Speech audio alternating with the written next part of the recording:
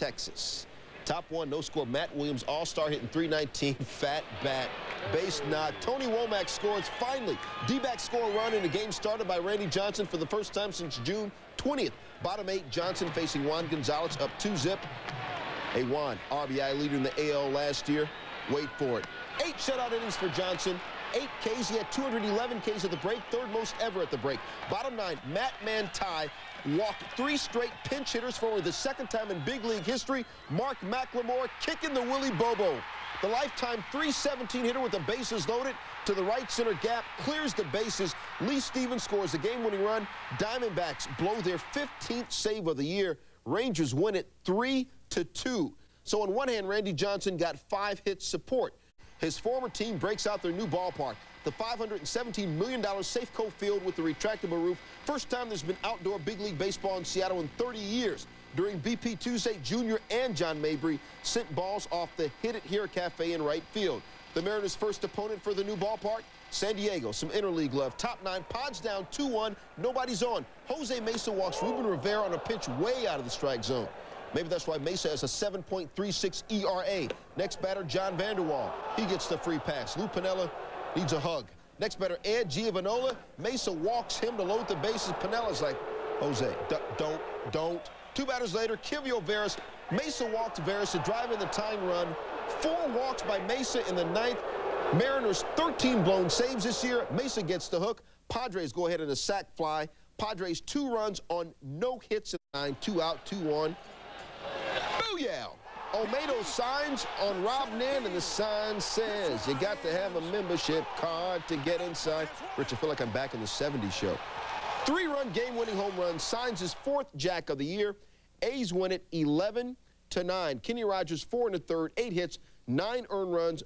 Bottom 10, tied at six, man on second, which is good because with nobody on base, Mo hitting 234. With runners in scoring position, Hit Dog's got the J.U. Ice, the juice hitting 324. That's why he knocks in Randy Velarde. That's that little wheel he was talking about. Angels beat the Dodgers in 10 innings. They win it 7-6. Halos win for the fifth time in six games and stop the Dodgers' four-game win. Second top of the fourth, tied at one. Randall Simon at the plate, grounds to Chuck Knobloch, ranging. Nice throw by Knobloch but Simon's safe, and Andruw Jones comes all the way around from second to put the Braves on top 2-1. As for the play at first, well, does Tino's foot come off the bag? You make the call. Top of the fifth, same score, two men on for Brian Jordan.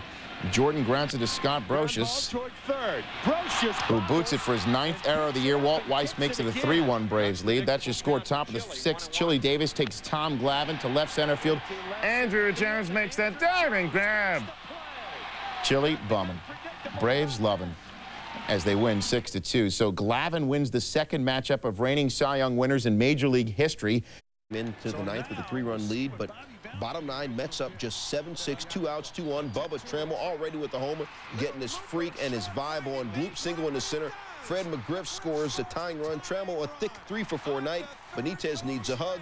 The injured John Franco. I can't help you, kid. We're tied at seven. Top 10, two outs, man on second. Roger Cedeno is bringing it. Randy Winn cannot catch up to it. A ground rule double. Benny Agbayani scores the winning run. That's why Cedeno batting ninth is hitting 333. Mets win 8-7. With a similar fanfare, busting out the whooping stick on the fourth inning. On Mike Sirotka, 29th of the year, makes it a 2-1 White Sox lead. That's your score in the bottom of the ninth. One out, two on. Willie McGee takes Bobby Howry up the middle. Craig Wilson steps on second for one throw to first. McGee's safe. Frank Thomas taking serious umbrage, got ejected. Nevertheless, we go to extras. 13th inning, Darren Bragg bunting with Rick Croushore on first. Greg Norton fields, fires, throws, hits the runner, and the ball's loose. Here's Croushore coming all the way around from first. Ray Durham's throw is not in time. The Cardinals win 3-2. Afterwards, Croushore said, I think every baseball player wants to be a hero one time. This is fun. Sammy Sosa. Deep to right center field and gone off of Bob Wells' two-run shot. Sosa's major league leading 33rd home run. He snapped an 0 for 12 slump the inning before with a double and is now halfway to 66. First lineup card and Tigers, however, were up 2-0 top of the fourth with two on when Damion Easley plates two more. On this double down the line off of Shane Reynolds, Tigers go up 4-0, would go up 6-0 in the bottom of the fifth. with two on. Jeff Bagwell against Dave Mlicki. Here's the setup. Here's the pitch. He got it. 29th home run of the season in opposite field job cuts the lead in half. 6-3 ball game. It's 6-5, bottom of the seventh. Bases full of Strohs for Derek Bell, base hit. Up the middle off of Doug Brocail. Two more runs come in. Astros take the lead and tack on one more for good measure and win 8-6 and score eight unanswered to win in Dierker's return. But for the game tied at three against Bret Saberhagen. Goes the other way. Deepest part of the ballpark, and it is gone. Barely. 20th of the year for Rolen. Phillies up 5-3. Boston had some chances. Bases loaded for Jason Varitek, bottom of the eighth. Sox down 5-3. Rico Brogna somehow comes up with it. Bobbles to first in time. Two batters later, Wayne Gomes, Damon Buford, ring him up, sit him down. Bottom nine, 5-4 fills. Nomar Garciaparra up, the tying runs on third. Grounds to Rolen. Jose Offerman gets caught in a run down. A developing dicey situation. Tagged out. Garciaparra one for five in the game. He left four runners on base. And the Phillies hang on to win by the final score of 5-4. So Robert Person, the converted reliever, went six innings, struck Stain doing some things we didn't think she could do. Jorge Posada Ah. I leg kick like El Duque. Fourth inning, Scott Brosius against Greg Maddux, bases loaded. Two-run single. Yanks up by the score of 4-3. Maddux gave up five earned runs in three and a third, his shortest stint since September of 1996. Fifth inning, it's Ryan Klesko against El Duque, a man on, Braves down one. And Klesko drills his second home run of the game. One of four homers off El Duque. Braves up 6-5. Andruw Jones loves playing in Yankee Stadium. Member of 1996 World Series. 19 years old, a couple of homers. Tonight, a little bit of everything. Against Posada, the brilliant defensive play. Then against El Duque, off into the New York night. Later in the ball game, getting a great jump to rob Scott Brosius, or that Tino Martinez drive. Sixth inning, Derek Jeter, 15th of the year, his 42nd multi-hit game of the year for Jeter. That leads the majors. 6-6 at this point. Ninth inning, it's Andruw Jones against Rivera. 7-7 game. Looky here. Andruw Jones has left the building a three-run home run, his second of the game, and it leads the Braves over the Yanks by the final score of 10 to 7. So two homers for Jones, two also for Klesko. Mariano Rivera blew a save, Dave, for the bottom five solo home run. 219th home run for Baines as a DH, tying Don Baylor for the all-time home run mark as a DH. O's up 5-1. How about Mike Mussina, the all-star, getting it done. Jose Vidro, ring him up, sit him down. Next man up, Vladimir Guerrero. And Guerrero's going to ground into the 6-4-3 double play as the Orioles go on to win by the score of 9-4. Baines went 4 for 5. He now has 1,556 hits as a DH, moving past Hal McRae. Shawn Green is at second base, nobody out, and they decide to run with Tony Fernandez up there with no outs. Kind of a cardinal sin. Left-handed batter, nobody out. You can't make the first out at third base. And then in the sixth inning with two outs, Homer Bush batting. Jose Cruz Jr. decides to try to go around to third base. Mark Kotsay makes him pay, so they made the first out and third out at third base. Two base running mistakes. Toronto's Alex Gonzalez is hurt, but this is Florida's Alex Gonzalez. A double in the left field, scoring Luis Castillo. Breaks a 2-2 tie. Marlins go on to win by the score of 4-2. So overall, the Marlins now 30 and 15 in interleague play. The best top of the third, 1-0 Houston. Deivi Cruz deep to left. Everett's replacement, Matt Mieske. Oh, look what I found. Bottom eight tied at one. Runners on the corners, Derek Bell against Doug Brocail. Ring him up and sit him down. We're still tied at one. Bottom nine, still tied at one. Runner on second for Craig Biggio. Base hit. Gabe Kapler is fielding. Glen Barker is running. Developing situation, and Barker's got the winning run as the Astros win it 2 to 1. So coupled with the Reds' loss, Houston is now in first place by a game over the Reds. First year with Pittsburgh. Take that. Giles against Dave Burba, 19th of the year. And at this point, it's 4-0 in favor of Pittsburgh. Bottom four, Giles up again to Roberto Alomar. On the right side, Alomar to Vizquel. Fourth error of the year for Alomar. Two runs come in to score on that play. And Pittsburgh at this point is up by the score of 7 0. Well, Doc Gooden pitching out of the bullpen right now. It looks like Mark Langston is going to be the fifth starter the next time around. First batter he faces, wish he didn't, Ed Sprague smokes one to left field. His 17th homer of the year.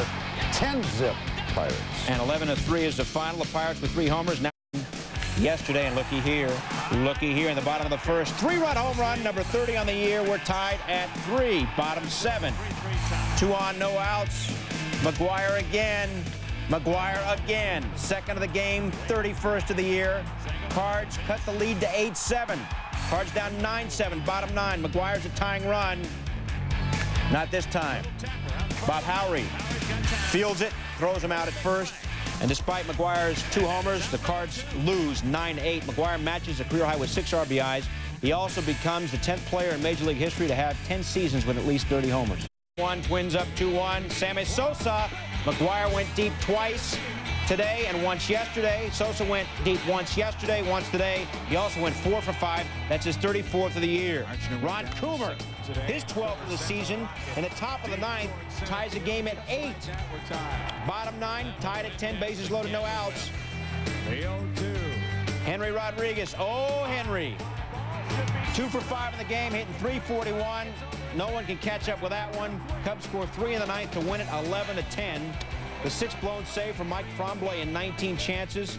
After his four for five today, so Stadium is Brewers return to action after the construction accident yesterday at Miller Park postponed yesterday's game, so they played two today. Steve Woodard strikes out Johnny Damon, and then he gets Damon again at the top of the sixth as Milwaukee wins it by the score of two to nothing. Woodard pitched eight innings to win his seventh straight decision, and again, the game supposed to take place last night, postponed until today because of that construction accident in Miller Park, the new stadium going up next to County Stadium. Three people died yesterday in that accident.